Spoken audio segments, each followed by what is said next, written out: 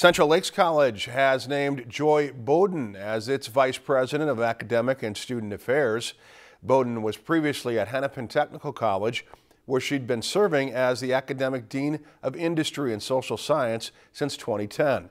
While at Hennepin Technical College, Bowden was the interim Dean of Student Affairs from 2011 to 2012 and served as Director of Marketing and Admissions from 1999 until 2010.